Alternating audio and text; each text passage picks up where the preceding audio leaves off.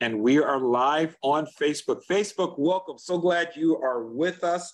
Again, I'm Mike Davis. I am one of the leaders at our fellowship, the Oasis. So glad that you're joining us here for our Sunday, Saturday morning, not Sunday morning, but our Saturday morning study in the Word of God. I want to pray with you as we've just prayed with the members of our fellowship. Let's pray as we get into the study of God's Word, asking Him to open our eyes. So, Father, as David prayed, we pray this morning, open our eyes to behold wondrous things from your Torah. Lord, show us your ways, teach us your path, lead and guide us into your truth and teach us, because you are the God of our salvation. You've said, I will grant you my, my spirit of truth, who, to, who will lead you and guide you into all truth. So we rely upon you this morning, Lord God, that you will guide us by your spirit into your truth. In Jesus' name, amen. All right, if you've got your Bibles, I'd like you to turn to Genesis chapter 3. We're still in our series, Who's the Boss? Women and Men in Biblical and Cultural Context. This is part 12. We've done 12 messages thus far. And we are going to be looking again, something we started last week, Genesis chapter 3, verse 16, revisited. This is the second part of that message. I think it'll be the last part. The, the second part will be the last part of what we're studying here. And today we're going to be looking at the cause of the woman's pain and anguish that God speaks about in Genesis chapter 3 verse 16. So in Genesis 3:16, after Adam and Eve had eaten of the forbidden fruit, God says to them, and it says to the woman in verse 16, to the woman he said, I will greatly multiply your sorrow and your conception. In pain you shall bring forth children. Your desire shall be for your husband, and he shall rule over you. Now, last week we looked at this passage, and we um, and, and we looked at the passage, and based upon the work of two scholars, Carol Meyers and Joy Fleming, Carol Meyers wrote a book called Rediscovering Eve. We were quoting from that. Uh, Joy Fleming also wrote a, a work um, that right now uh, I think it's women, women and men in in in uh, in unity or biblical unity, I believe it's called. Uh, but we looked at their works last week, and based upon their work, we looked at the possibility because they dealt with this passage in their work. We looked at the possibility that this passage can be looked upon differently than the way it is normally interpreted. Uh, the, that the first part of this verse, where it says, uh, I will greatly multiply your sorrow and your conception. In pain, you shall bring forth children. Normally, this is interpreted as saying that God, in, when it says, I will greatly multiply your sorrow and your conception, that's usually interpreted as that God is going to increase her labor pains during childbirth. When she's in labor, he's going to increase the pain. We saw, we looked at the work of Carol Meyers and Joy Fleming, and we saw that they interpreted differently rather than it being that God was going to interpret their pain when it says, I will greatly multiply your sorrow and your conception, we saw, and what we looked at, and you can go back to last week's message, it's on YouTube at KICTV, message number 11. We said that God will increase not really her labor pains, but her physical toil that like he does with Adam in verse 17 um, and that he's going to increase or multiply her conceptions or her pregnancies. Because we said last week, it says, "I will greatly multiply your sorrow and your conception." That word for conception there is a word that speaks of a child being conceived, not a child being born. And we said that I will multiply your sorrow. The word sorrow there is the word is itzavon, which refers to toil, which can it, it, refers to anguish or labor or exhausting labor. It's the word that God used uh, when he says to Adam in verse 17, curses the ground for your sake. In toil, you shall eat of it. In itzavon, you shall eat of it. In other words, you are going to eat of this ground. It's going to be physically taxing. This ground is not going to produce for you like it was supposed to. There's a curse on it. And he said, for your sake, and he said, This is going to be your experience all the days of your life. So, this word, itzavon, toil, translated as sorrow in my New King James in verse 16, it really means physical, it can mean physical, it, well, it can mean pain. It can mean physical pain. It can mean uh, mental, and one of the primary words is mental Uh, distress, exhausting toil, worrisome toil. This is the meaning of the word. So we said here that rather than speaking of one thing, when God says, I will multiply your sorrow and your conception, rather than just speaking of, hey, the woman is going to experience labor pains, he's speaking of two things. Number one, I'm going to multiply your toil, which is what he basically said to, Aaron, uh, to Adam in verse 17. I'm going to multiply your toil. So, in other words, Eve, like your husband, you're going to be working alongside your husband and you're going to experience the toil of living an agrarian life, of farming the land, of trying to bring forth food from the land. Because as we saw studying Carol Meyer's work, women in ancient Near Eastern cultures, women in agrarian societies in the ancient Near East, Israel would have been a part of that, ancient Israel women worked with the men in the field. They didn't just work at home, they were part of the production. Everybody, the entire family would basically work the farm, they would work the land. And it was hard work. So when God says, I will multiply your sorrow and your conception, he's speaking of two things. There's going to be an increase of the toil, of the hardship, of the anguish of working the land. Is what he said to Adam. He's saying this to Eve, and he's going to multiply her conception, meaning he's going to multiply her pregnancies. So we said that her working on the earth with her husband would be toilsome, it would be painful because of the curse, it would be exhausting work. In, increasing conceptions or, or pregnancies means that more children would be given to help work the land, thus easing some of the toil and easing some of the exhausting work.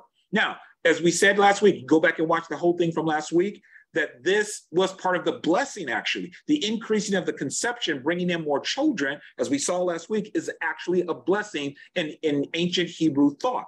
And the idea of children being more children being um, conceived and brought forth, that God would give them more children, the idea behind that is that the more children you have, they can help you to work the land. And that would ease some of the toil and the exhausting work. We said that we see this being alluded to in Genesis chapter 5, verse 29. I'm going to read it, go over there and read again. And this is where uh, it talks about the birth of Noah.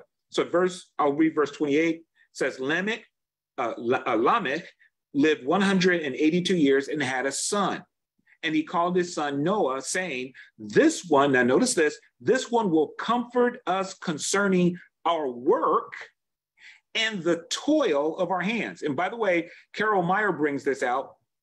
Notice it, it says the work and the toil of our hands. So that's two separate things. It's not that work is bad, but along with the work, it's going to be anxiety filled. It's going to be burdensome. It's going to be difficult. It's going to be uh, anxiety filled, as it were. And we're going to see that in just a few moments. But notice he says that when Noah is born, he says, This one will comfort us. The word Noah or Noah in Hebrew means comfort or rest. So this one is going to comfort us concerning our work and the toil of our hand because of the ground which the Lord had cursed. So they see the birth of Noah, the child, as being a blessing that would eliminate some of the exhausting work, that would give them rest.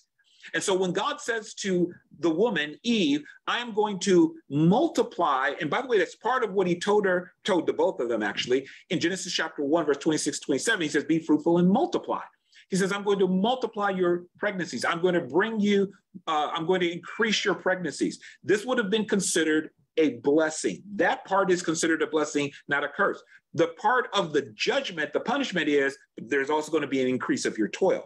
There's going to be an increase of the arduous work that you're going to do. Or put it another way, the work will increase in terms of its difficulty, in terms of its of its um, the anxiety you will experience, the hard the, the, the hardship you will experience because of your sin.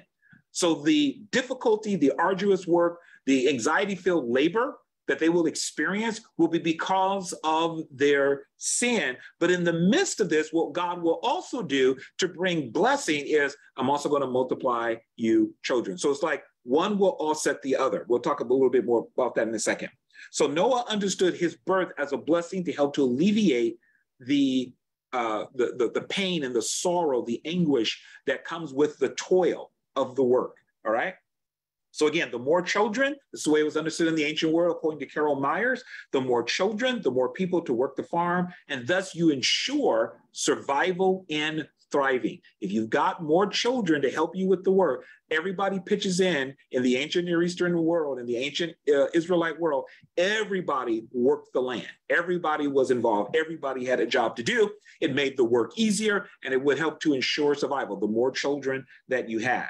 Now, what about though the rest of the verse that says, In pain you shall bring forth children? Now, we're going to look at that.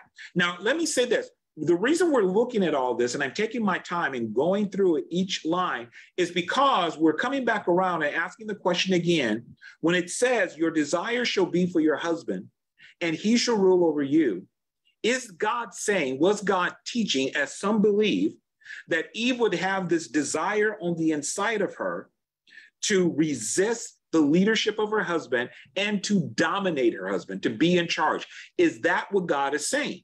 And, and so we're looking at this because there are those who, in order to uh, promote the idea and the view that men are to lead over women, part of what some of them teach within the complementarian camp is that women have this desire because of the fall to resist their husband's god-given authority that god established that creation and she not only resists his authority but she wants to dominate that dominate him and that comes from that desire within her we're going to look by looking at all this, what, what I'm going to, I'm giving you a little preview here. I don't believe that's what the passage is saying, but we've got to look at all of these verses together and then say, oh, okay, this is what God is communicating. So what about the rest of this verse that says, "In pain you shall bring forth children"? How does this how does this relate to interpret and help us to understand the words? Your desire should be for your husband; he should rule over you. Is Eve's desire rebellious? Is uh, is it a desire that causes her to, to want to dominate her husband? And therefore, her husband has to dominate her. There, there, there are those who teach that in the camp, complementarian uh, viewpoint that the reason the man has to rule is because the woman is going to push against his authority. So therefore, he has to bring her under his authority. And there are those who say, well, that's for her good. There's a small part that says, well, no, we shouldn't follow. Like I said, Wayne Grudem, who is one of the major complementarian voices, believe that this is not the model that should be followed, that woman has to be uh, ruled over by the husband because she pushes against his authority. He does believe that she's going to push against his authority, but the idea that that well, she pushes against his authority, so that means the man has to exercise authority over her. He sees that as very negative. Okay. We're going to talk about that too in just a few moments uh, or, or as, as, we go through this. Uh, but there are those who believe no, this is not a negative rule. This is a benevolent rule. God gave the authority and the dominion to man at creation. And so he is just reaffirming his authority and rule. And the woman has to have the authority and rule because he is going to push, uh, she is going to push against the man's God given rule. And that's to her detriment. So God reestablishes, reaffirms his rule over the woman so she doesn't get in trouble. That's basically the idea. Okay. So we're going to look at this. In the next line of Genesis chapter 3, verse 16, it says, In pain you shall bring forth children. And then it says, Your desire should be for your husband. So, and he should rule over you. In pain uh, you shall bring forth children. The word here, bring forth, and I'm reading the New King James Version. The word bring forth, it is the Hebrew word yalad, yalad.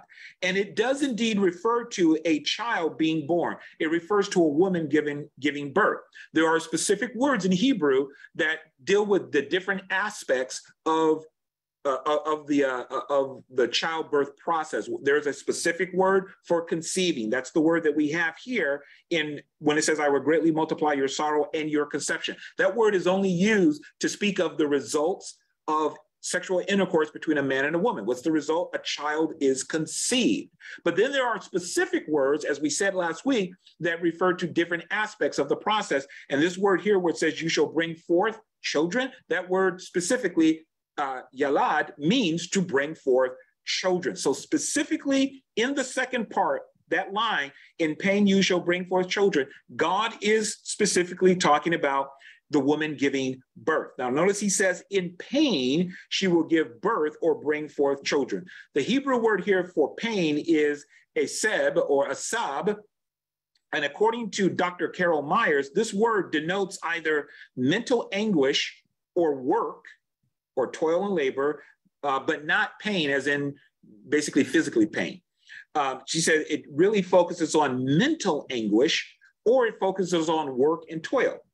Now, I looked up this word in Hebrew, and there is at least one uh, verse of scripture where the word does denote physical pain. In Ecclesiastes, Ecclesiastes, Ecclesiastes chapter 10, verse 9, it says, He who quarries stone is hurt by them, and he who splits logs is endangered by them. And the word for hurt here, when it says he who queries, who, you know, he is digging out stones and that's maybe his living, he is hurt by them. In other words, he can, and he can, um, uh, he might experience physical pain. He might be hurt by the digging out of rocks and breaking of rocks. It says he can be hurt by them. And this refers to physical pain. So, at least one instance in the Hebrew scriptures, it does refer to physical pain, but it appears that this word primarily refers not so much to physical pain it can refer to that but it also refers to primarily mental and or spiritual or emotional anguish or discomfort and this is according to the theological word book of the old testament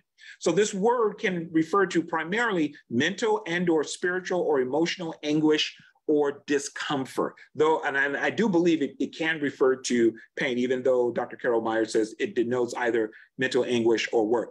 But I think she even, no, I think in, in her book, she even says that there might be some pain, some physical pain involved. Okay, so when it says here, in pain you shall bring forth your children, how should we read this? Should we read it as physical pain, meaning the labor pains that women experience when they go into labor, or is it distress? This is what Carol Meyer says on page 91 of her book, Rediscovering Eve. Because words in parallel poetic lines are not usually synonymous, it likely, talking about the word here, pain, it said, it likely signifies mental anguish rather than the toil or rather than toil or labor the stress of exhaustion accompanying parenthood. Perhaps hardship would convey that would convey that both anguish and work accompany parenthood. So in her view, let me read that one more time. Because words in parallel poetic lines are not usually synonymous. Now, what she means by that is um, what you have here is poetry when it says, I will greatly multiply your sorrow and your conception, and pain you shall bring forth children. Your desire should be for your husband, he shall rule over you. The way it's written is that this is a poetic piece. And so you have these lines that are parallel. So I will greatly multiply your sorrow and your conception. The line that parallels that is, in pain you shall bring forth children. And so what she's saying is, especially in Hebrew, parallel poetic lines usually are not synonymous. That, that is, that they mean the exactly the same thing. What they tend to do is that they will say something slightly different to amplify what was said before. So, so God says, I will greatly multiply your toil. Remember, we said that word there, sorrow, is probably referring to the physical toil that she's going to be engaged in. And then in, so I will greatly mer- uh, multiply your itzavon, your toil, your physical work and labor. And in Eseb or Esab, or in mental anguish and hardship, you are going to bring forth children.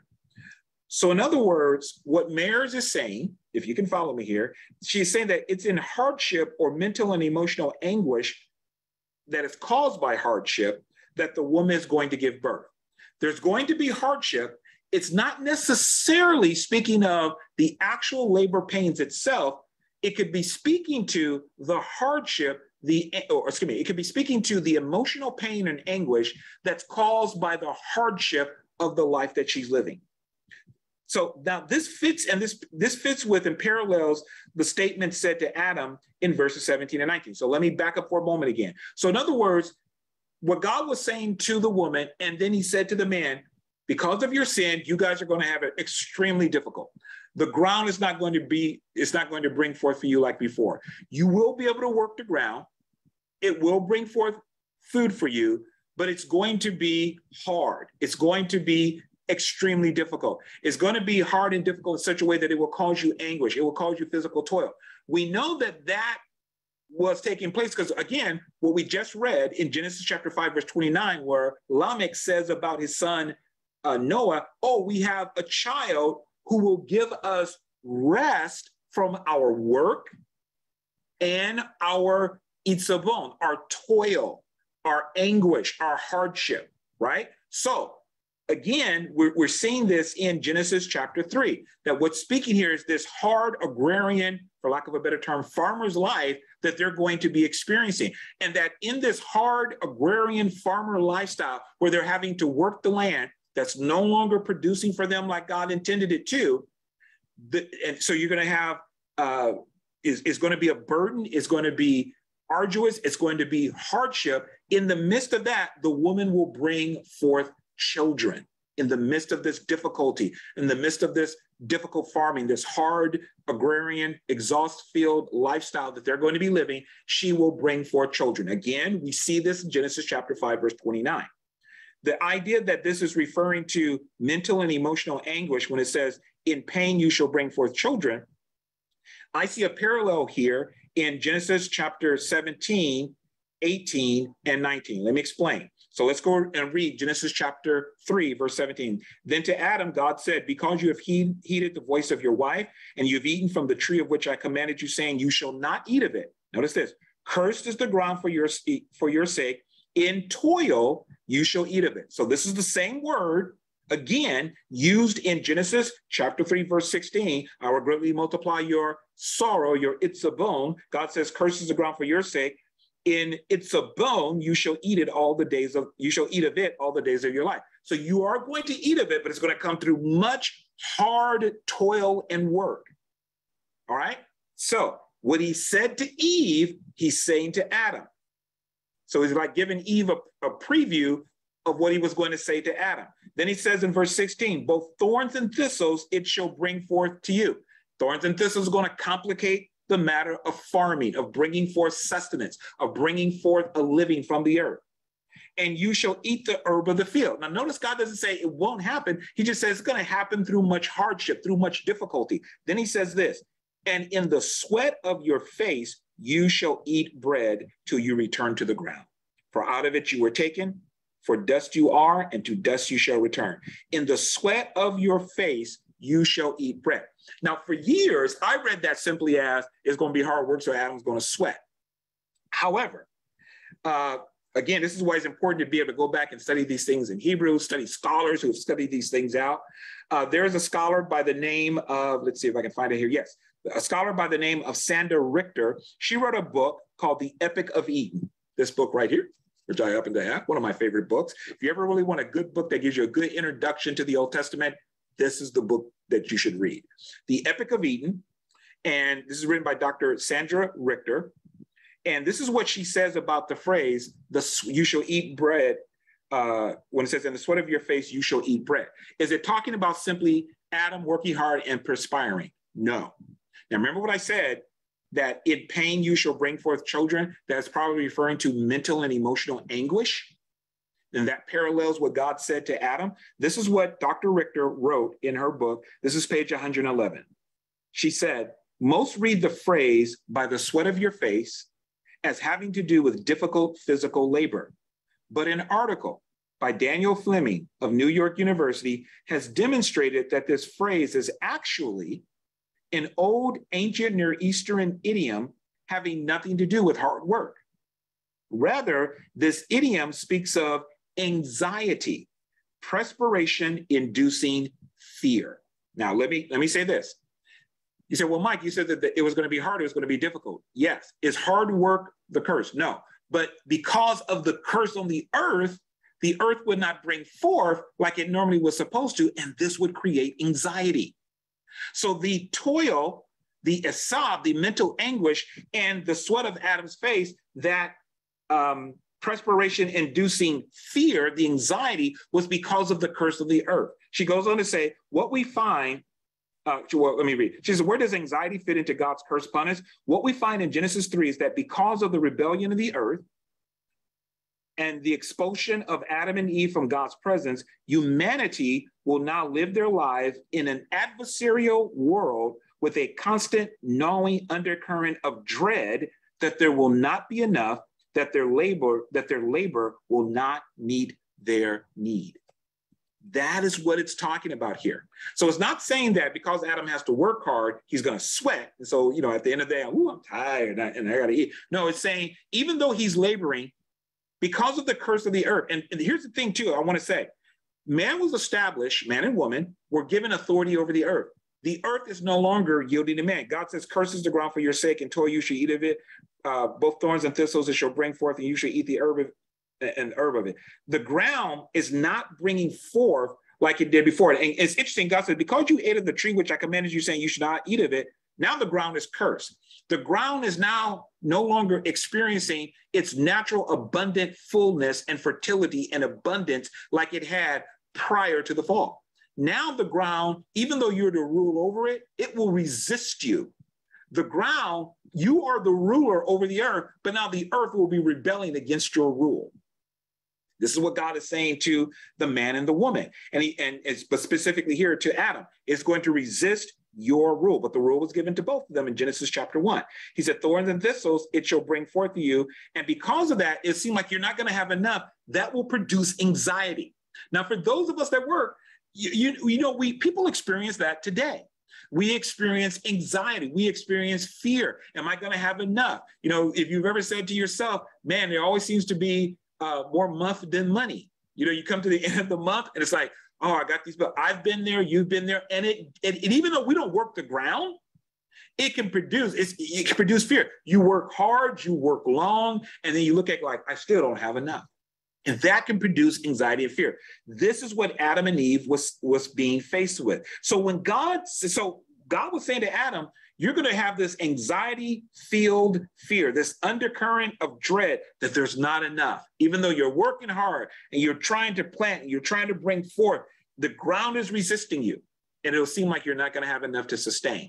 This is where the toil, the mental anguish, and the mental and emotional pain of anxiety and dread is coming from. So when God says to the woman, in because in a seb, in mental anguish, in mental pain, you will bring forth children. It is the pain that comes with being filled with worry that we're not going to have enough. We won't be able to produce enough. We won't be we won't be able to make it. As so many of us have experienced in our life. She's going to bring forth children in the midst of an experience of life that's filled with dread and fear and pain.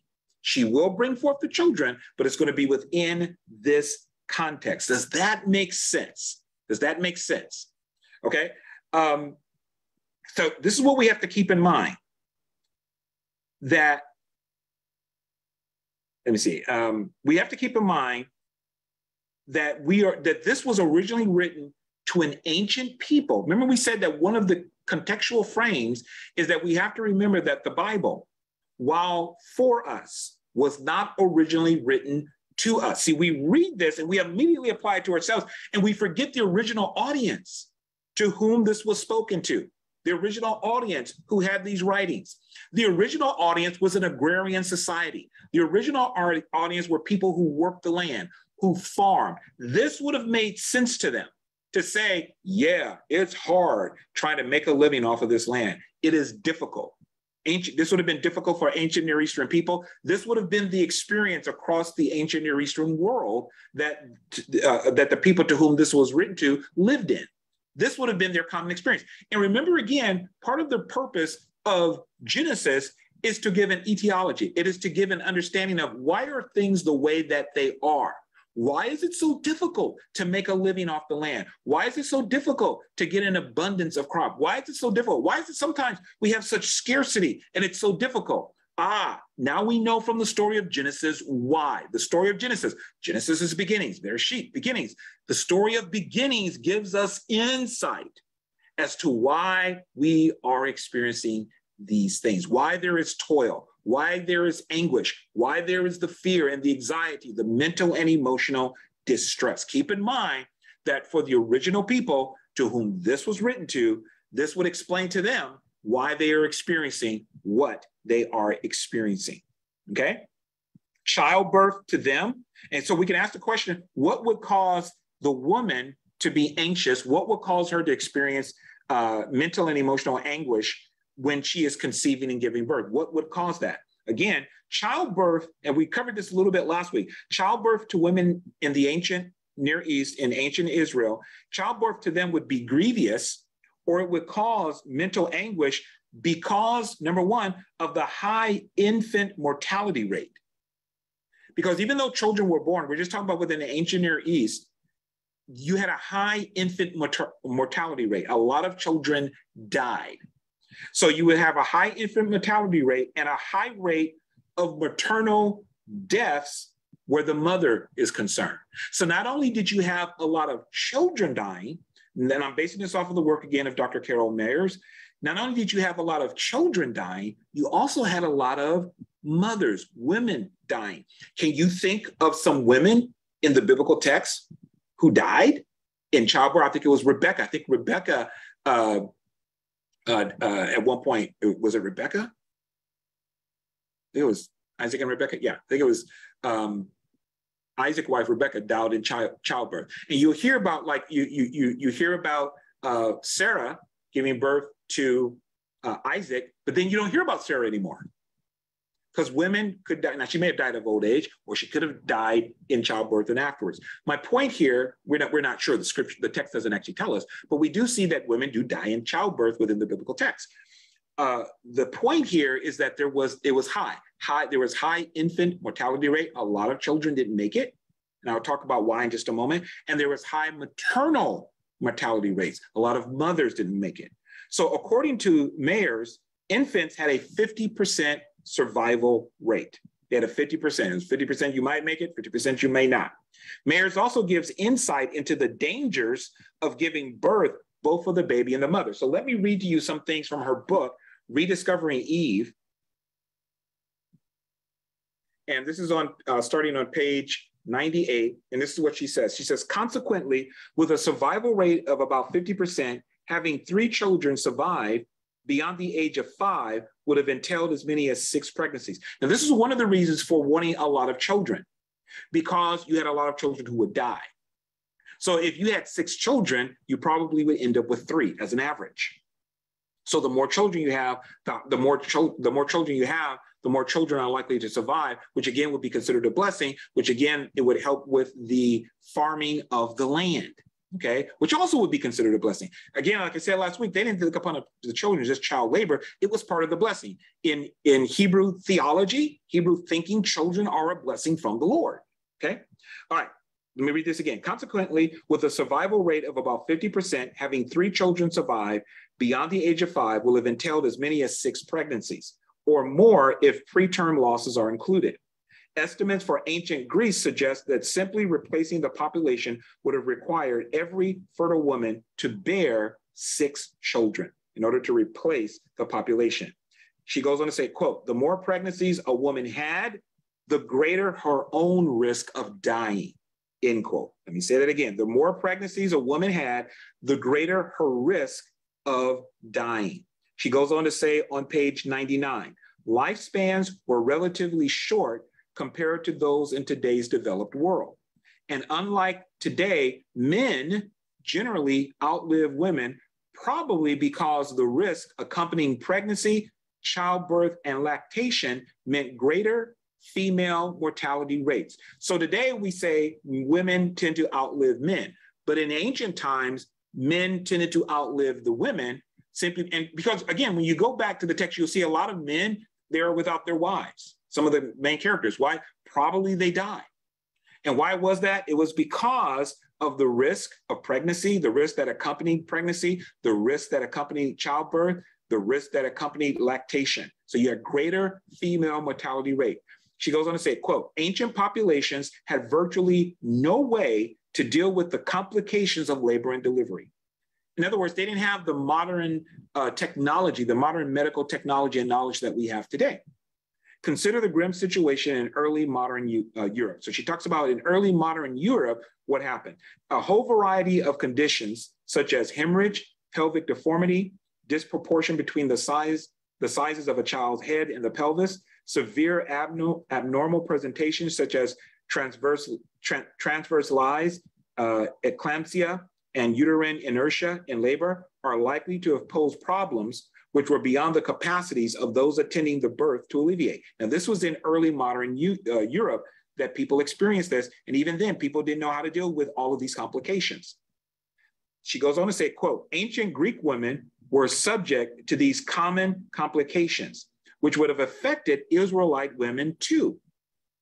Even if delivery proceeded smoothly, mothers and their newborns were, partic- were particularly susceptible to infections that were often fatal. for the ancients had no concept of pathogens and the need for sanitation. So they didn't know about germs, but they would be subject to all of that. In addition, inadequate nutrition in pregnant and lactate, lactate, lactating women increase their vulnerability to infection and disease. One more factor. So, uh, uh, uh, so let me say right here again, these are the reasons that I'm giving you why women would be anxious, why they would be in anguish. It's because of all of these complications that would arise with giving birth. So now we know why in pain, in mental anguish, you shall give birth. Goes on to say, one more factor was the mother's age. Young mothers are at greater risk for childbirth difficulties and death than our older ones today. So we know that after a certain age, if you are female, you have you seek to have children, the older you get, the more at risk it puts you. But women, what she's saying is women in ancient Israelite times and in the ancient Near East, they were at more risk. Younger women were at more risk than older women today. Uh, let's see. Um, she goes on to say, I'll read this. She said, a recent UN publication reports that complications of pregnancy and childbirth are a leading cause of teen deaths in Latin, in Latin America, for example. Or excuse me, in Latin America, for example, pregnant girls under 16 are three to four times more likely to die in childbirth than women in their 20s. She goes on to say, quote, although there is no direct evidence about the average age of marriage in ancient Israel, information from later periods and from elsewhere in the ancient world suggests that girls married in their mid or even early teens, even if young teenage mothers survive, even if young teenage mothers survive childbirth, their offsprings often have low birth weight and other problems causing illness and sometimes death.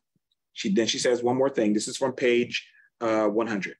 Quote, awareness of frequent infant and maternal deaths meant a general apprehension of losing one's newborn or succumbing to the risk of childbirth.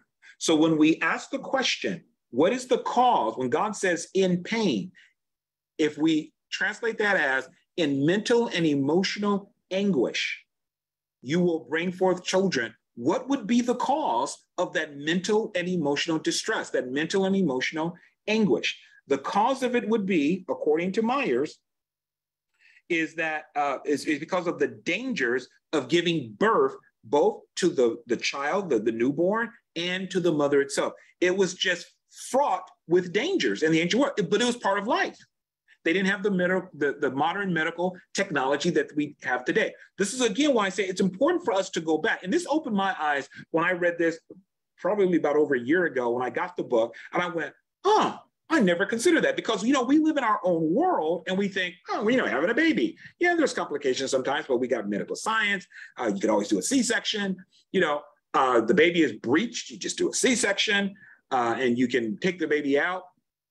Uh, and you know, we got all these medical technologies now. They didn't have these things back then. So you can imagine that there was the possibility of death hanging over women whenever they conceived and when they were about to give birth. They knew it was a reality.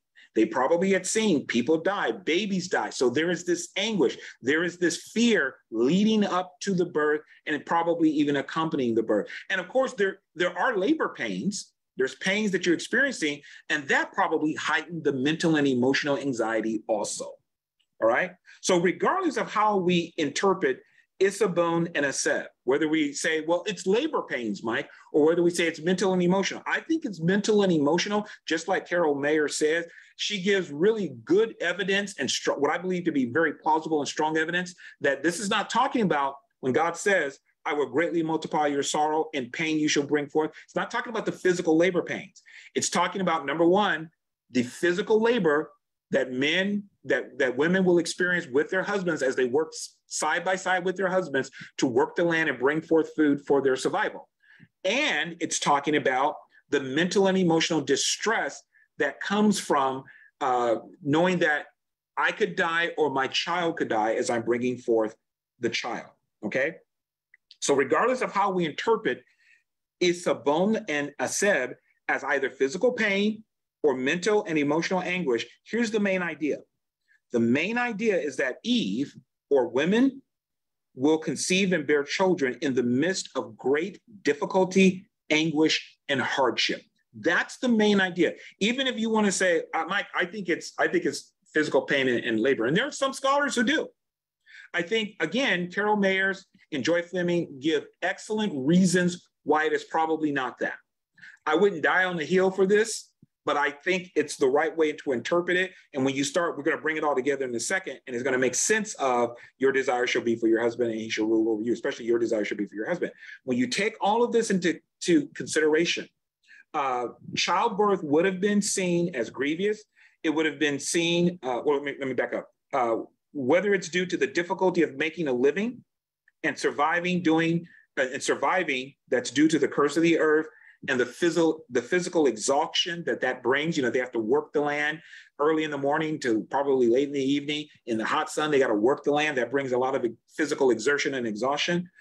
Uh, whether it's due to the anxiety and the fear of death of the child or the mother which was very real and it was a part of every pregnancy or even if it was because of the actual physical labor pains that a woman will experience when in labor and when giving birth again the main idea it, it, let me say this it could be all three of those together. The main idea is that there's going to be difficulty, there's going to be anguish along with the blessing and the conceiving and the giving of birth of a child. Uh, the, the, the um, one area where I have some slight disagreement with Carol Meyers is that she says that women would be hesitant and they would not want to uh, be with their husbands um, to have children with them, again, because of all of these hardships, because of all these difficulties and complications. Another scholar, whose name I don't remember right now, but I was reading it this morning, she said, well, when we look in the Hebrew text, we don't see that. We don't see any woman saying, I don't want to have any kids. Oh, no, no, thank you. I do not want to have any children. We see them wanting children. We see them wanting to bear children. Matter of fact, they are sorrowful, they are sad, even depressed if they can't have children because children would give a woman honor. To have children, especially if you had boys, it would give you honor. However, I do agree with Carol Meyers that it would create anxiety and dread because of all of the complications. And of course, this woman, she works the field because women would work, they would have their children, and you still got to work. You still got to go, out there. You got to help your husband. You got to take in the food that he brings in, and you've got, you got to make a meal out of it. We're going to be talking about that probably next week. So there would be physical exhaustion, as we see in Genesis chapter 5, verse 9. There would be physical exhaustion, but there also would be this dread. There would be this fear of, am I going to live or am I going to die? Is my baby going to live or is my baby going to die? That is what they will experience. So all of this together makes for a difficult, anguished, pain filled, fearful bringing forth of children. That's the pain that I believe God is speaking of here when he says, In pain, you shall bring forth children. It's not the necessarily just the physical labor pain, but it's the anguish, it's the anxiety, it's the fear, the dread that's caused by all of the complications of pregnancy and of the hard, difficult agrarian farming life. Does that make sense? And again, when you look at this within its cultural context, you see that this is very, very, very possible because it's also true that this is what people experienced, the women experienced back then. Okay, so again, the main idea here, regardless of how you translate or think about pain, is that children will be brought forth in great difficulty and they, they will be conceived in great difficulty. They will be brought forth with great difficulty. I think the word pain there is referring to, uh, the itzavon is referring to the physical exhausting toil, and Isab is referring to the mental and emotional anguish that comes from the fear of what could, of the bad things that could happen when conceived or when bringing forth. All right. Now, with that in mind, you got to keep that in mind as we continue to go down. The desire of the woman and the husband ruling over her. What is that talking about? As stated before, many see this portion as referring to a rebellious desire on the part of the woman that she's going to resist the leadership of her husband and then she's going to seek to dominate and control her husband, that she's going to seek to be in charge. So therefore, he must rule over her. Many people see it this way. There are even some egalitarian scholars who see it this way based upon Susan Foh's work, who referred to uh, in last session and in the se session 11, session 10. So go to session 10 and 11. Though egalitarians who see it, they see it as the woman's desire and the man's ruling as conflict between the sexes. They see it as negative for both of them, not just for the women. Many complementarians see the man rule as positive, the woman's desire is negative. Complement uh, egalitarians will say, well, if that's the case, that she does have this desire, not only is that negative, but so is the man's desire to rule. And so what you have here is conflict, conflict between the sexes. So that's how some people look at it. But there's differences in how egalitarians versus complementarians see it. complementarians will see it as the woman desires negative, the man's uh, rule is positive. It's for the benefit of the woman, basically to keep her uh, under his leadership and under his rule so that things will function the way God says that they're to function. They see it as a positive. Here's the thing. Often this word, uh, often the, the use of the word desire in Genesis chapter 4, verse 7 is used to interpret this same word in Genesis 3.16. And we've talked about this before. Let's go over it. In Genesis chapter 4, verse 7, God's talking to Cain. In verse 7, he says to Cain, because Cain is upset, God says to Cain in verse 7, uh, I'll, I'll start with verse 6. So the Lord said to Cain, Why are you angry? Why is your countenance fallen? If you do well, will you not be accepted? And if you do not do well, sin lies at the door, and its desire is for you, but you shall rule over it. So many people see that because it, uses the word desire, the word desire that's used here, teshukah, is the same word that's used in Genesis chapter 3, verse 16, when it says, Your desire shall be for your husband. It's the same word in Hebrew. So therefore, uh, they, they, they will use Genesis chapter 4, verse 7 to interpret it Genesis 3.16. This is the basis of Susan Foh's work. She said, if we want to understand what the desire for your husband means, we've got to look at Genesis chapter 4, verse 7, see what desire means there, and that will tell us how to interpret Genesis chapter 3, verse 16. The idea is, and the argument is, Genesis 4, 7, well, I'm it like this Genesis 3, 16 is not very clear in what it means. Genesis 4, 7 is clear, and the and the, the way most uh, biblical interpretation, uh, biblical hermeneutics and interpretation works is we're going to use a clear passage to interpret a passage that is not so clear or that's less clear. That's a basic general interpretive rule. You interpret passages that are not very clear by passages that are much clearer. So Genesis 4 7 is seen as a clear passage. Here we understand it says, Sin lies at your door, its desire is for you, uh, and you should rule over it. Mike, that's very clear. Sin desires to possess Cain, it desires to rule over Cain, but he must rule over it. Therefore, in Genesis 3:16, when it says the woman's desire, your desire shall be for your husband, it must mean she wants to dominate him like sin wants to dominate and control Cain. That is how this is argued. But there are some problems with using Genesis 4 7.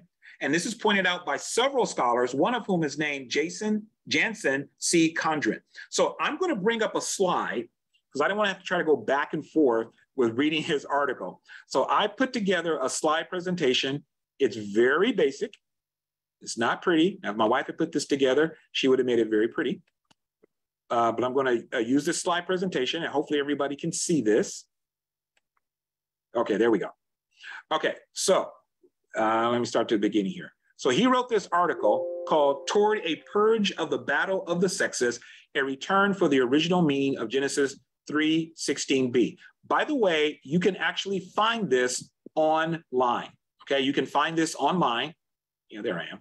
You can find this online. You can actually read it. Just type in toward a purge of the battle of the sexes and, and return for the original meaning of Genesis chapter 3, verse 16b. Okay? Now, let me read to you what he says this is about. Susan T. Foh's Susan T. Foh argues the woman's desire, that, that Hebrew word there is teshukah, desire, in Genesis 3.16 is not an affectionate desire for her husband, as in almost all previous English translations, but rather a desire to contend with him for leadership. This adversarial view has gained wide acceptance among evangelicals, as can be seen by its appearance in the New Living Translation and the 2016 ESV, the English Standard Version which had a lot of complementarians on its uh, translation committee. The, this, the present essay, his, his article here, contends the view is seriously misguided. Its reliance on Genesis 4:7, a text with its own major difficulties, makes for an unreliable foundation. Furthermore, an examination of the history of translation and interpretation of Teshuvah in its three Old Testament occurrences, as well as its uses outside the Old Testament in the Dead Sea Scroll, that's what DSS stands for, reveals both a complete lack of precedent for an adversarial reading, as well as considerable evidence that the original meaning was not desire, but rather return. That's a mouthful. We'll explain it as we go. What he's basically going to show is Susan T's argument, Susan T. Foh's argument that this should be, that desire should be seen as the woman contending with the man for the leadership position, that she's going to try to dominate him. He goes, that's a wrong way to think about it. To use Genesis chapter 4, verse 7 to argue that point is also wrong because of the difficulties with Genesis chapter 4, verse 7.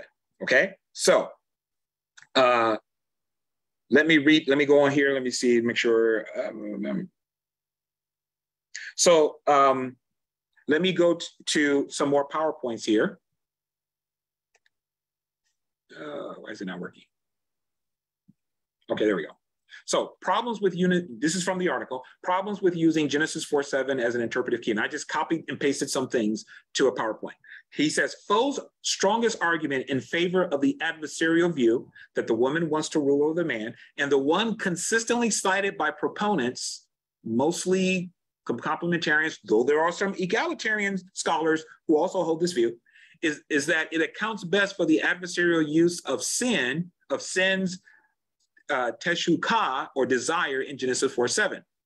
Uh, indeed, with only minor variations, the language and the syntax of the two passages is identical. Now, I've shared that with you before. When you put these two passages together side by side in Hebrew, they look almost exactly the same. And this is one of the reasons people will argue and say, see, this Genesis chapter 4, verse 7 gives us the proper interpretation. Sin's desire is to rule over Cain. Therefore, the woman's desire is to rule over the man. We base that upon the fact that when you look at the, the grammatical structure, it is practically the same.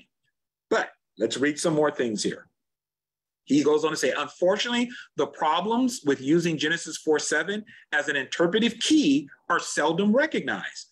And by the way, this article was written in 2017. So it's about five years old. He says, most significantly, what Hamilton, who's another Old Testament scholar, what he describes as the clear meaning of Genesis 4, sec- 4 7 is actually not so clear at all. According to, uh, let's see, hang on just a second here.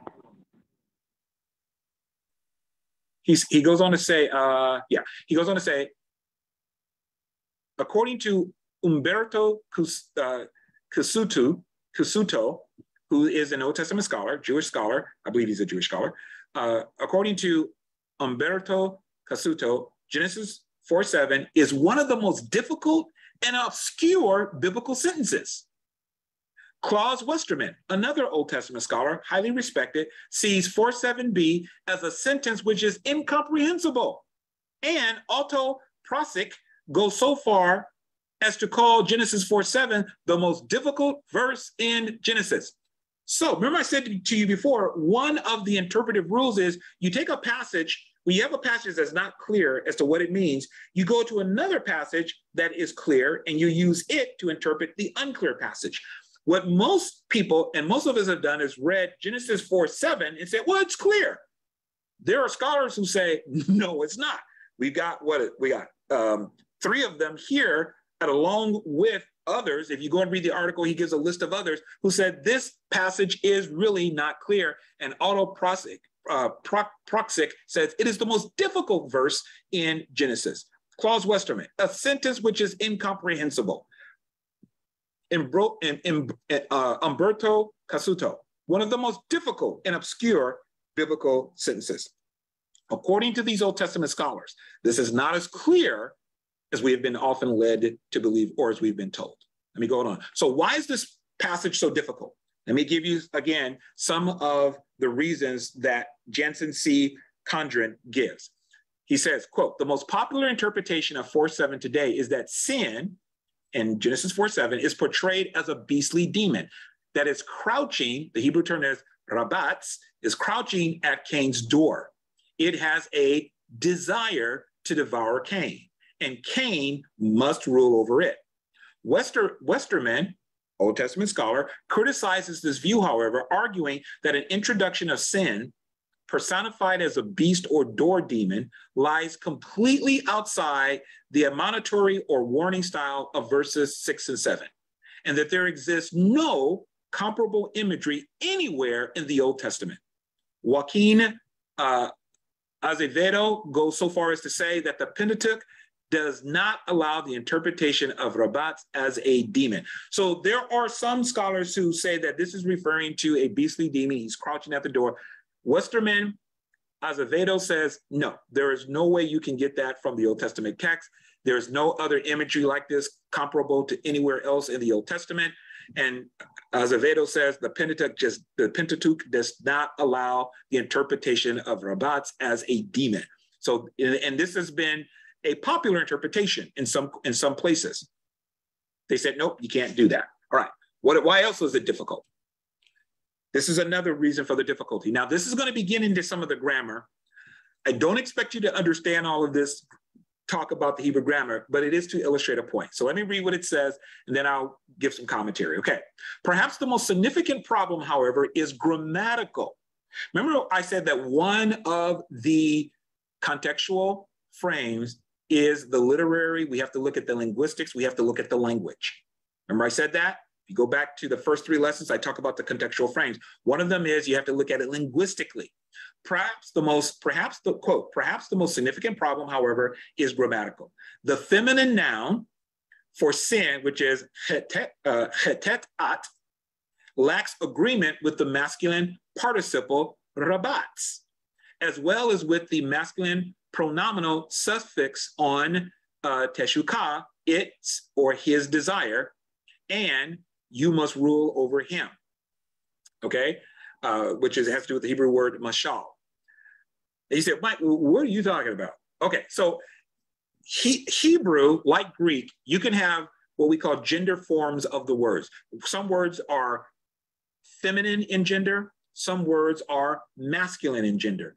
Normally, if you have a word that's feminine, you want to, the word that follows it that has to do with it also needs to be feminine.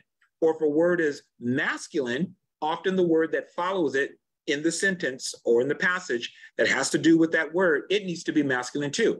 What the scholars have recognized is you've got a feminine word here, chetat at, but it lacks agreement with the masculine participle. In other words, you got a feminine word, but then you got a masculine participle that doesn't fit the rules of the grammar.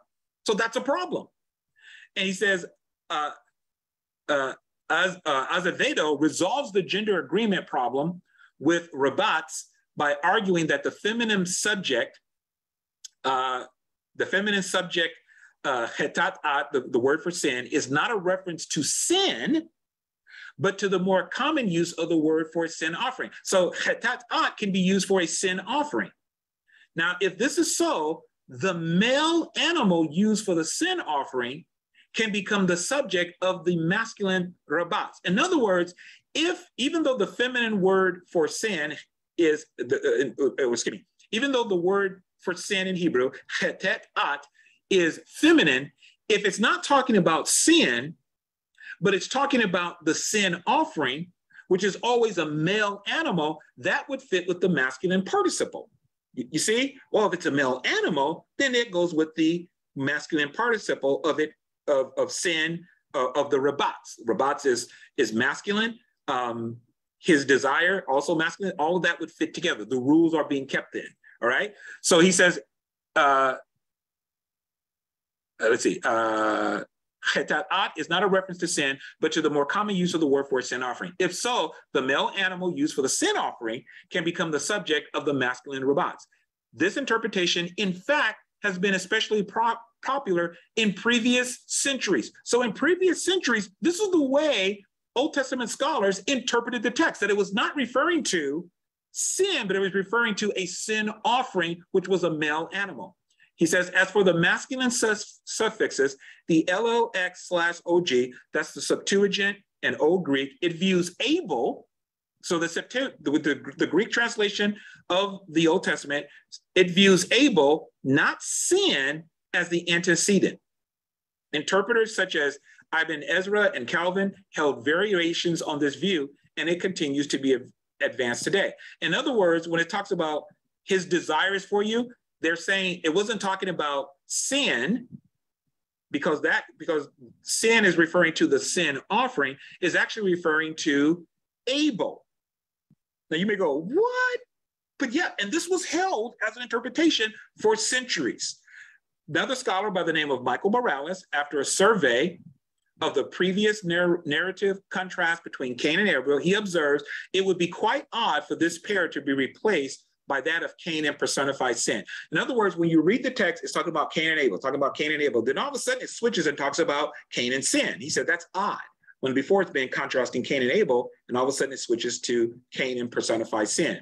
He concludes that Abel, not personified sin, is most likely the person being referred to in verse 7. When it says his desire is for you, it's not talking about sin based upon the Hebrew, based upon the contrastive narrative. It's not talking about sin, it's talking about Abel. What would be Abel's desire? One trans one interpretation says it would be Abel's desire for Cain's birthright.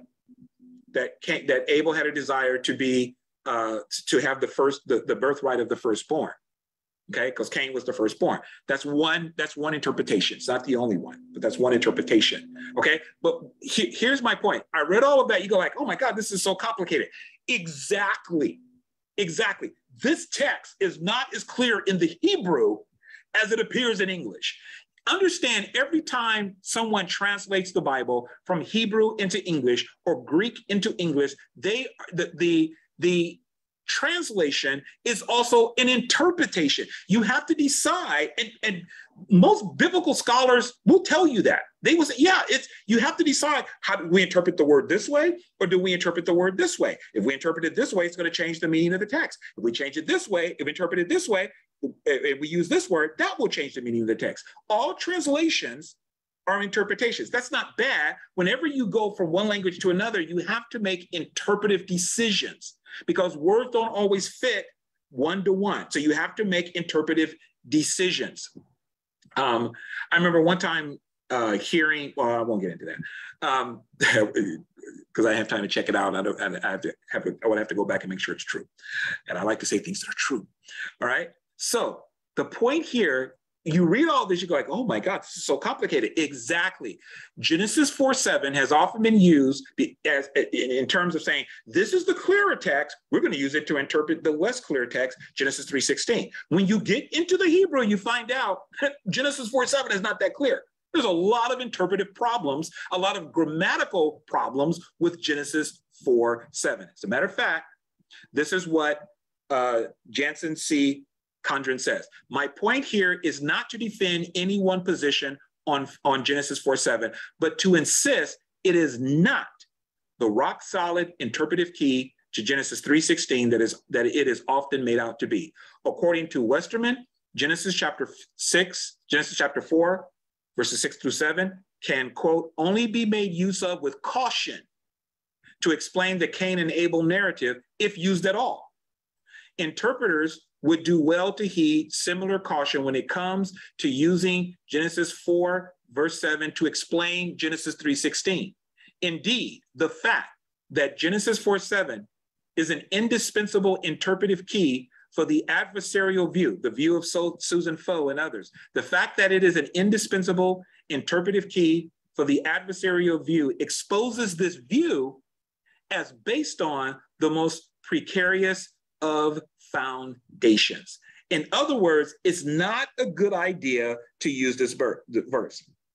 So the idea again that Genesis 4 7 is the clearer passage by which to interpret it, Genesis 3:16, and that desire is being interpreted as adversarial or rebellious on the part of the woman. This has several problems, and Condren suggests that Genesis 4 7 should not even be used in this way because Genesis 4 7 itself is not clear. Genesis 4 7 itself has interpretive problems. So it cannot be used as the clearer text because it has a lot of unclarity itself. All right. So that's what I wanted to share with you um, where this is concerned. So let me, I'm going to stop sharing for just a moment here and go and go back. Okay. So how should we look at Genesis 3:16. I'm in agreement with the scholars who say you can't be based upon the evidence. The evidence says this verse is not clear in Genesis 4:7. It's not clear that it should even be interpreted this way. Just because something has been interpreted a, interpreted a certain way for many years, and just because you've read it that way for many years, doesn't mean it's right. It doesn't mean it's accurate. It doesn't mean that it is correct. Hang on, things are popping up on my screen here. Okay. So we have to look at the evidence. I try and I seek to be persuaded by the evidence, the historical evidence, the cultural evidence, the linguistic evidence. Now, all the time it's not going to be 100%, but you have to look at, the, in other words, 100% certainty that yes, this absolutely proves it. You have to look at the preponderance of evidence and go, hey, the preponderance, the weight of the evidence points in this direction, not that direction. In other words, the preponderance of the evidence where Genesis chapter 4, verse 7 does not point to we should use it to define the desire in Genesis 3:16 as being rebellious. The woman's re- desire is rebellious against the man, or a woman's desire in general are rebellious against men, and women are trying to dominate based upon Genesis 4:7. The preponderance of the evidence says no, you can't interpret it that way because Genesis 4:7 is not as clear as we would like for it to be. And so the, uh, the interpretive tool, which says a clear text should interpret a less clear text, would not apply to Genesis 4 7 because there are problems with the grammatical structure, there are problems with the interpretation of Genesis 4 7. Now, if somebody says, no, I think it should be clear, you've got to prove that. You just can't make an assertion. You just can't say, well, I don't agree with that. I think Genesis 4 7 is clear. What's your evidence? Now, I'm, and I know I'm talking in a little bit scholarly way here, but what's your evidence? Because I hear people make assertions all the time. They go, no, I don't agree with that. That's not true. Fine. What's your evidence? When I used to teach Bible school, I used to say this to the students all the time. I go, you can disagree with me all you want. And I invite your disagreement. If my friend John Deese is watching, John had went to school, he know I would tell him that. You can disagree all you want, but you've got to come with evidence. You just can't say, well, this is what I believe. Why do you believe that? And you couldn't tell me because this is what my grandmother believed. My grandmama taught me this. No, I wouldn't accept that. You've got to give me evidence. You've got to give me facts as to why you believe that.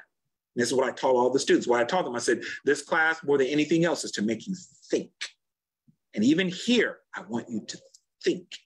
I want you to think about the text. So the preponderance of the evidence points to the fact that we can't use Genesis 4 7. Now, if somebody comes to me and, and gives me evidence to the contrary and says, Harry, here's some more evidence that prove this is the way that we have it in our Bibles now that it should be uh, interpreted.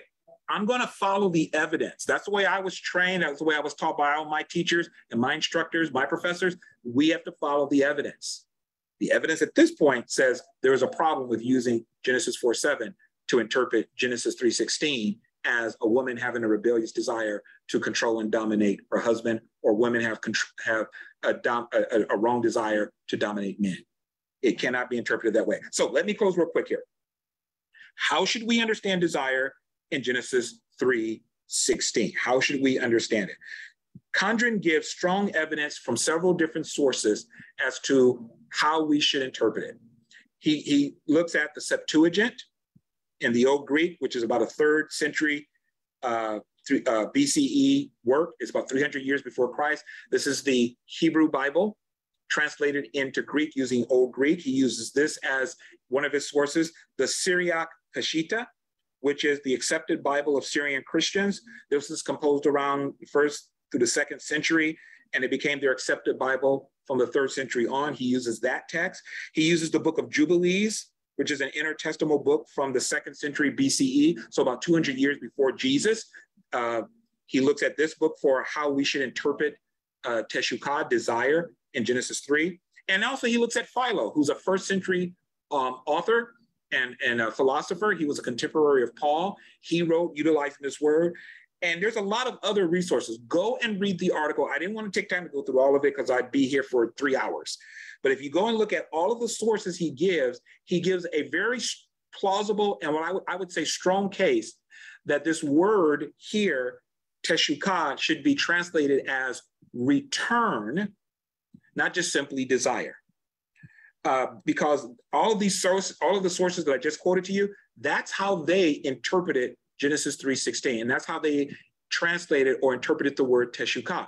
They translated it as return. So the Septuagint, the Syriac Peshitta, the Book of Jubilees, these are all before the time of uh, Christ or during the time of Christ. Philo and other sources in the article, some later, they interpreted the word desire as return. This is how they understood Genesis 3:16. He shows in, he even shows in the article that later rabbinic interpretation, later rabbinic midrash on this verse interprets the word teshukah as a word play, uh, excuse me, it, it, interprets it as return, desire as return, and they use a word play. The rabbis would use word plays a lot in order to interpret text. So let me go back to my screen again. I'm going to uh, bring it up. I want to show you what the rabbi said. Okay, uh, let's see where we at here. Let me enlarge this. Okay. He says, in a further paragraph, Genesis Rabbah uses another wordplay. The Genesis Rabbah is a rabbinic work, uses another wordplay to associate teshukah, understood as desire, with return. And the Hebrew word here is shuv. So they used a wordplay to associate desire with return. This is what the quote says. When a woman sits down on the birth stool, she says, this is a little humorous, I shall never again have sexual relations with my husband. Why? She's in anguish, she's in pain. Then the Holy One, blessed be he, said to her, says to her, You will return to your desire. You shall, hash, uh, uh I think it's hashuvi or hashuv, hashuvi, uh, le teshuka. You shall, you will return shuv to your desire teshukah. That is, you will return to having desire for your husband. This is how the rabbis interpret it. Later rabbis, Genesis Rabbah, it's a later rabbinic work. As if it's, I, I think it's an early rabbinic work, but um, they. This is how it was. What I'm trying to say. This is how the rabbis saw it. So they saw they associated desire, teshukah, with return, shu. From shu, we get the word teshuvah, which is repentance, to turn from your sin and turn back to God. Well, the rabbi said, you're uh, uh, they associate teshukah, desire, with return. So let me read again. When a woman sits down on the birth stool, she's uncomfortable, she's in pain, she's trying to give this birth to this child. She says, I shall never again have sexual relations with my husband. Then the Holy One, blessed be he, says to her, You will return to your desire. That is, you will return to having desire for your husband. Okay? So this is how this term should be understood. So he shows that this is one of the ways it could be interpreted. So when we put all of this together, I think I have one more verse. Let's see. Yeah, let me read what scholar. This is another scholar, Joel N. Lohr. He uh, is quoted by. Uh, um, he's quoted in this article, and he reasons that that Genesis Rabbah. This may be an ingenious way of explaining what Teshukah is what desire is its meaning being inextricably linked with the idea of returning. So this scholar, Joel Lohr, says, or Lear, Lohr, Lohr, Lear, uh, we'll say Lohr, he says this could be an ingenious way by the rabbis of explaining what that word desire means. They link it with the idea of returning. So, at a minimum, the rabbis appear to recognize two interpretive traditions, one favoring return and the other desire. It is worth speculating whether or not they recognize the return tradition as the older and more established of the two, but this would go beyond the evidence. So we don't know for certain how the rabbis saw this. Let me stop sharing now, go back. Okay, so I'm back. All right, so when we put all this together, all right, that desire could mean return. What do we learn? We put together this the, the, the language, we put together what we know about the culture and the, the sociological uh, uh, experience of the people. Here's what I believe God is saying to us in Genesis chapter 3, verse 16 to the woman Eve. When you put all the get when you put all when you put it all together, it clarifies it. The woman with her husband is going to face hardship. She's going to face exhausting toil, anguish, and anxiety because of the hard agrarian life that they will live. And even though she's going to face all of this, plus the dangers and mental and physical anguish and pain of childbirth, Yet, even with all of that, she will still desire or she will still return to her husband with affection and devotion. Remember in one of the, in, in uh, lesson 10, we talked about the work of, of a Hebraist scholar, Andrew Macintosh, where he sees teshukah as meaning to be devoted to your husband, okay? To have concentrated focus, attention, or devotion to your husband. So I'm saying here, when we put all this together, the woman with her husband is going to face hardship, exhausting toil, anguish, and anxiety because of the hard agrarian farm life that they will be living. And even though she's going to face all of that, and she's going to have to deal with the dangers and the mental and emotional anguish and pain of childbirth, yet with all of this hardship, all of this anguish, she still is going to desire and return to her husband with affection and devotion. And what will that result in? Conception of children. She's going to return back to her husband, even though she faces all this anxiety, even though she faces all this exhausting toil, even though she faces the danger of death of her children when she's giving birth and her own death. Yet when it's all over, like the rabbis said, you will turn again to your husband. You will desire him again. You will turn back to him, I would say, with devotion and affection, which will re- again result, Lord willing, if that's the desire, and, and among Israelite women, it seemed to be, it will result in more in pregnancies, which fulfills what God said I will multiply your conceptions. But you can't multiply conception if people don't come back together. So even though there's a lot of anguish, there's a lot of pain, mentally and emotionally, pain from the physical toil, yet this woman will return again and again to her husband, not as a curse. This is not a curse. This is the, what, what the curse is, or what I should say, not curse. What the judgment is, is the anguish, it's the hardship, it's the anxiety. Giving birth and desiring a husband is natural and normal. That's the good thing. That's the blessing. The other one, the anguish, the anxiety, that is the curse. That wasn't part of God's original intent. So the idea here is that despite the dangers, despite the hardships, despite the mental and emotional, physical pain and anguish, the woman will return to her husband out of devotion to him and out of a desire for intimacy and connection with him. She is not seeking out of some corrupted desire to usurp his authority and dominate him. That is not the point that's being made. When you put this all together, you get a different picture. When we set this verse back in its sociological context of the ancient Israelites and ancient Near Eastern culture, we get a clear picture of what is being said and being communicated. Again, I believe what God is saying here, based upon the research of all of the scholars that I've quoted to you, is that I am, going to multiply the toil and the physical exertion that you and your husband will experience. Uh, I'm, I'm going to, that's judgment because of your sinning against me, eating of the fruit. But I'm also going to multiply your pregnancies. I will give you multiple children because there is danger of children dying. So I'm going to give you multiple children who will be a blessing to you, who will help you to farm the land, and who will give you some rest from that toil. And even though you experience Eve, all and another woman following, even though you experience all of this hardship and all of this mental and emotional and physical toil and anguish, yet you will find yourself still desiring to connect with your husband, to be intimate, to be affectionate, to be devoted to him, which continues the process. This is what's being said. When we set it back in its sociological context of the ancient Near East and of the ancient Israelites, this becomes much clearer. We get a better and we get a clearer picture of what God is saying and what God, and what is being communicated. Does that make sense? Does that make sense? Let me quote to you again from Terran Williams in a book that I quoted from before called How God Sees Women. And we're almost done here. Terran Williams, in his book, How God Sees Women, this is on page 77, he talks about the, the desire of the woman as a God given desire. I fully agree with him 100%. Um, and when I first read his book, he enlightened me to something I didn't see. Since gathering all this information together, I believe it's true even more. He said, The God given desire of you sees Eve's desire for her man not as sinful, but as natural. I agree. The immediate context of judgment the immediate context of judgments in verse 16 through 19 suggests it is a natural desire, albeit a frustrated one.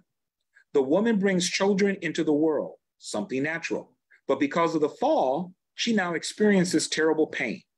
And my view is that the pain is not necessarily just the labor pains, but it's the pain of the agrarian lifestyle and the mental and uh, emotional anguish of concern are we going to have enough? Are we going to be able to make it? Okay. Uh, similarly, the similarly, the man desires to draw food from the soil, but it is, but it now obstructs him. Finally, the man whose life is sustained by the land will, eventually be swallowed up in death as a return to its dust. In each of these judgments, a God given desire has been derailed. Along the same lines as the other judgments, then, her desire for her husband as her equal partner is natural, but unfortunately, it is thwarted by his desire to rule her. Let me give this to you in my own words and from my own perspective. In Genesis chapter 3, verse 16 through 19, what we see is something positive that God originally said now being tainted by something negative, the judgments because of sin. So here's the positive Genesis chapter 1, verse 26 and 20 through 28, God says, Be fruitful and multiply. That's the positive. Here's the negative. The, um, it will, your, your multiplication, your conception of children will be accompanied by anguish, fear, anxiety, and pain of mind and body. That's the negative. You got the positive, be fruitful and multiply. But now, because of sin, the negative is entered in. The, the conception and the bringing forth of children will be accompanied by anguish, fear, anxiety, and pain. Here's another positive God tells Adam, and by proxy, Eve, keep and tend the garden. That's your job. That's a positive. Here's the negative. Now the ground will not yield to you as before. It is cursed because of you. Labor will now be anxiety filled and exhausting. So you got the positive, tend the ground. The negative, it's not going to yield to you as before, and you're going to find it to be a worry and anxiety. Here's the positive. God says in, to man and woman, Genesis chapter 1, verse 26 to 28, rule over my creation. He says this to both of them rule over my creation and have dominion over it. Now we have a negative introduced. He says to the woman, Your husband will rule over you, though you will desire and be devoted to him. What happens? What's the negative? The joint rule that they had has been altered now. The joint rule has been altered. They both were commissioned in Genesis chapter 1, verse 26 through 28 to rule over the earth. Now something has been introduced that was not there before. And I've done a whole message on this about Genesis 1 and 2 does not establish that man was given the rule at creation. All of the complementarian arguments for that, we've dealt with that. Go back, you can listen to the messages on that. Now, another, uh, another type of rule has been entered in that was not part of God's original design. Now, let me say this. Every positive that we see is that has been offset and altered by the introduction of a negative. So here's the thing I want you to know. Rule, when God says your husband will rule over you, by itself does not inherently mean a bad rule. The word therefore rule is mashal, doesn't mean a bad rule. It could be used of someone who rules badly, but it can also be rule, be used of someone who's ruling something positively. Is used of self-control, the man who rules over his own spirit. That's a positive. Okay. But it's also used of the oppressive rule of Solomon, which is a negative. What's my point? It is context that determines if it is positive or negative. It is not negative simply because it's rule, it's negative in this context because that was not God's original intent. You hear me? The word rule itself is not in itself negative, but it's negative in this context because that was not God's original intent. This was an expression of judgment because of their sin.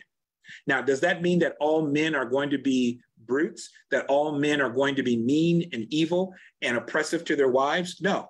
Does it mean that all men are going to be good and benevolent? No. That's the problem of this rule. You don't know really what you're going to get. You don't know what type of rule. It's like the Bible tells us that the powers that be, talking about authoritative powers, are ordained of God. But not, and people have a problem with that because they go, well, wait a minute, you got some rulers that are cruel. Yes, God establishes the rule. How the people exercise that rule is dependent upon the person. It comes from them. God does not dictate that. He, what I mean, he doesn't dictate it. He wants them, with you have authority to use it on the behalf of others. We're going to be talking about that. But there are people who will use their authority, their power, their influence in negative ways. You never know what you're going to get. Here in America, we, we, we elect presidents. Until they actually get into office, we don't know how they're going to govern until they're in office, whether it's going to be good or bad or indifferent. We don't know. In the same way, women, the, the judgment was upon women, your husband will rule over you. Is it going to be good or bad? You don't know. Sometimes it would be benevolent and good. Sometimes it would not be. The point here is that it was not God's original intent. And that's why it's a negative, because it wasn't his original intent. They were to rule together. No one was told originally to rule over the other. Last thing I'm going to say is this nowhere in all of the Torah, from Genesis to Malachi in our English Bibles, nowhere does God directly instruct or tell the man to rule over the woman. There is no direct instruction from God, not even here in Genesis 3:16. God says to the woman, your husband, your, the man will rule over you. Your desire will be for him, he will rule over you. He does not turn around and say to the man, You are to rule over the woman because she is going to be fighting against your rule. He never tells the man to rule, he doesn't command the man to rule. It's not there. So, man is never told to rule over the woman. Cain was told if if the interpretation that we have of Genesis 4 7 is correct, Cain was told to rule over sin. Adam was never told to rule over Eve. God said to Eve, it's going to happen. He was showing her what's going to happen, but God never actually told the man to rule. Something to think about.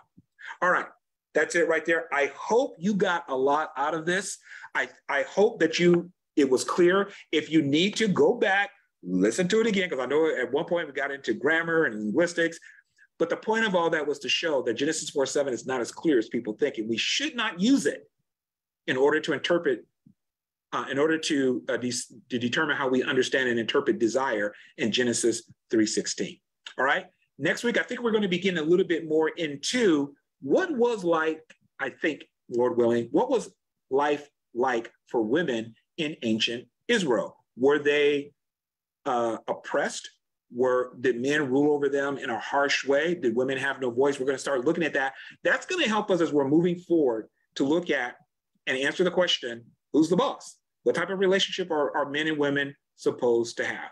That will be what we'll be getting into starting next week, and then we're going to start looking at some women in the Old Testament text as we move forward to the New Test- Testament. I just want you to know that coming in the future, I'm going to have scholars on that I will be interviewing and talking about these things. I got some commitments from at least three to four scholars already to come on and actually talk about some of these passages and how they have understood and interpreted them.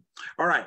If this was a blessing to you, I ask you share this with friends. We will be uploading this to, to our KIC TV YouTube channel within the next 24 hours.